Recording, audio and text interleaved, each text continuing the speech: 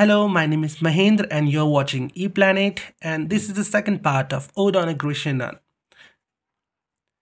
happy, happy bough that cannot shed your leaves nor ever bid the spring adieu. So now the scene has been changed and John Keats is talking about the bough.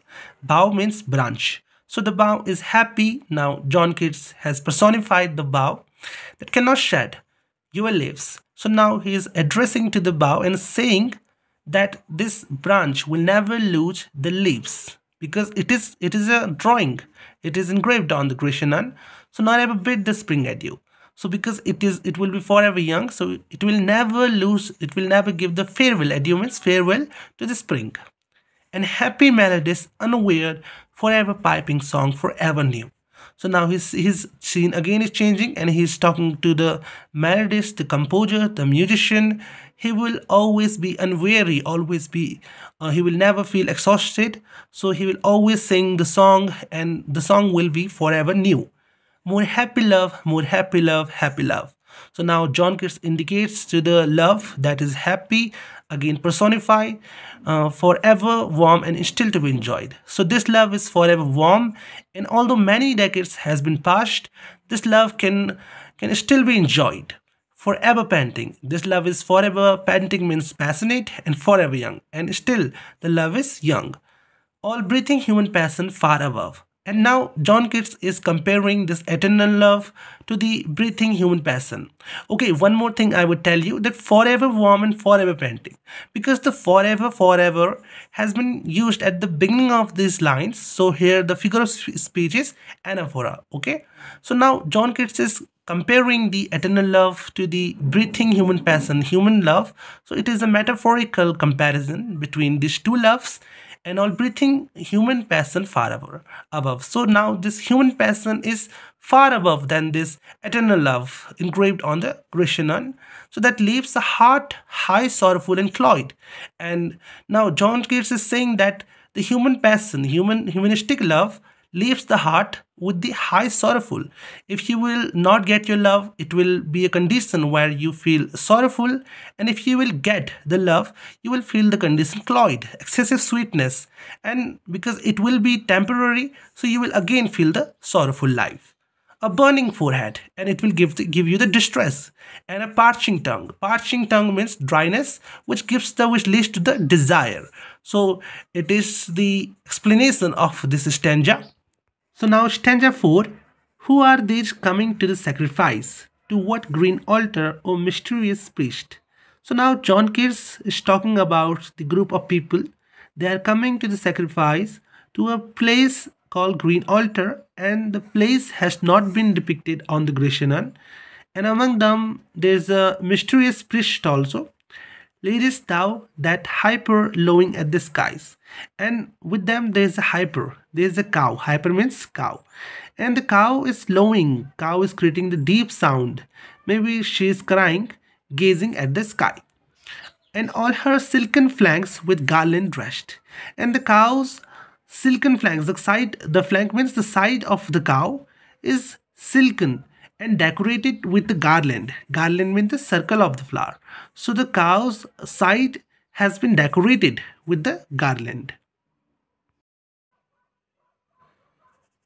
What little town by river or seashore or mountain built with peaceful citadel is emptied of this folk, this pious mon.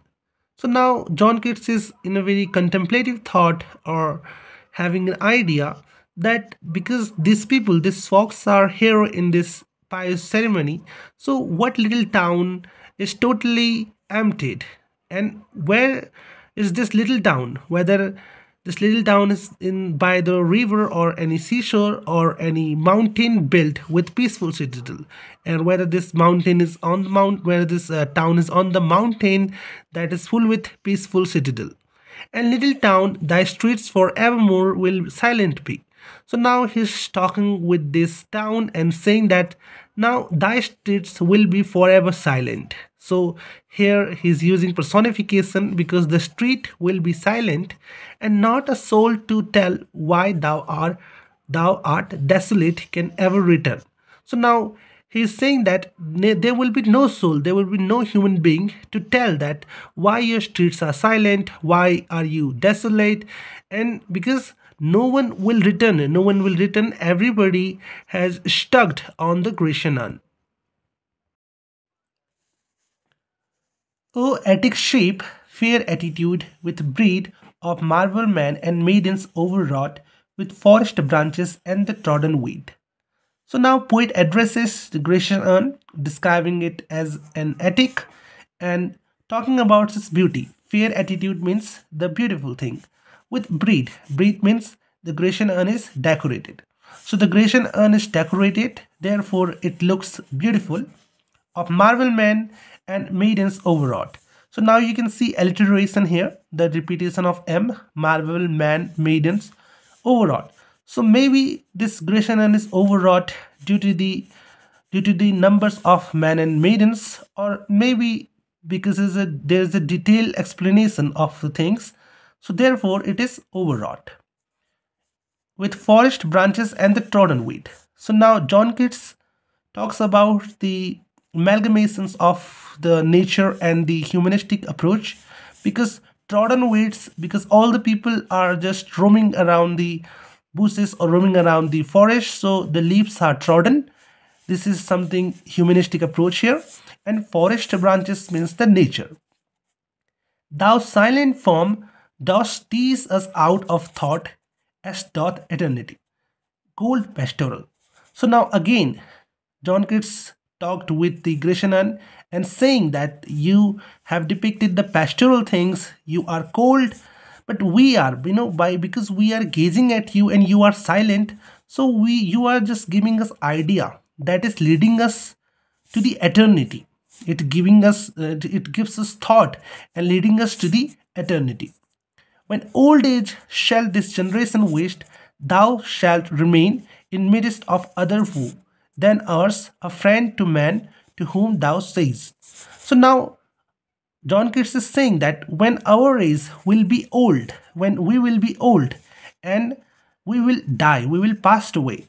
Because John Keats has the idea that uh, he will he will pass away soon. So he's saying that when our age will be old and our age will everybody will pass. So then you will be there. Then you will be there among the other generation among the future generation. And woe means the problems. So among the problems of the future generations you will talk with them as a friend and you will call them. What what the Grecian will tell them? That beauty is truth truth beauty. That is all. So now the Grecian will say that beauty is truth. That what is beauty? Beauty is truth. Truth beauty. As you already know that satyam sivam sundaram. So now, John Keats has also implied this thing that beauty is truth and truth is beauty. That is all. And now John Keats has used this hyphen deliberately by because he wanted to focus on this line beauty is truth truth, truth is beauty. So now what john keats indicates here that if you know the beauty if you know the eternal beauty if you know the internal beauty you know the truth if you know the truth you know the beauty ye know on earth and all you need to know so John Keats is saying that this is what you need to know. You need to know because you are on earth. So you know this this one single line that beauty is truth, truth beauty.